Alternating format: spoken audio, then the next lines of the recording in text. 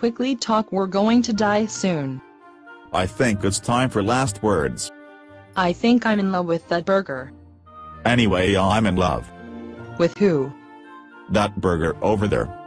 Oh, Who are you in love with? you. Oh, I love you too.